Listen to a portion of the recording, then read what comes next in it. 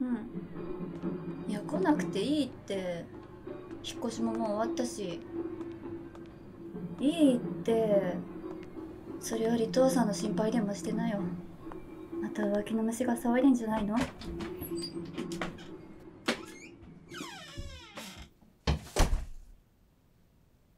おかえり。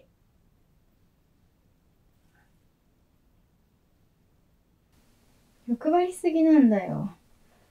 親なんて殴らなければそれでいい。ハードル低すぎんでしょ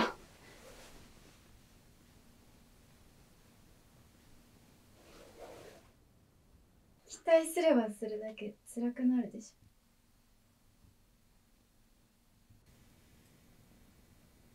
実家帰ってたの？本取りたくてさ、父さんいないと思ったんだけど、最近会社休んでるらしくて。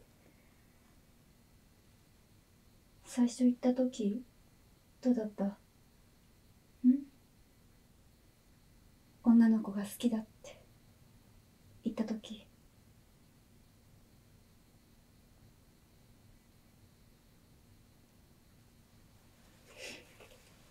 今の怒りと同じ顔してた。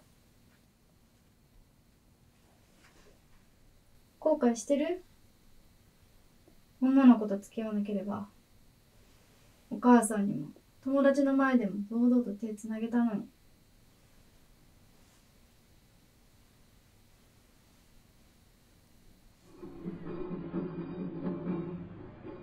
ああっちかな。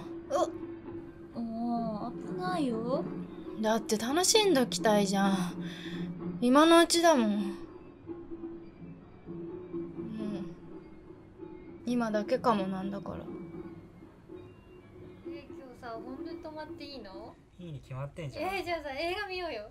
うん、何見る？えー、シャイニング。いや、それ俺苦手なやつだよ。え。ー、大丈夫だよ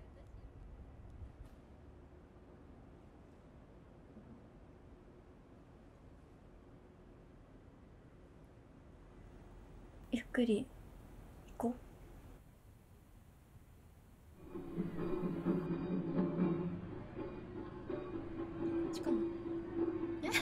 あっち？えどこ？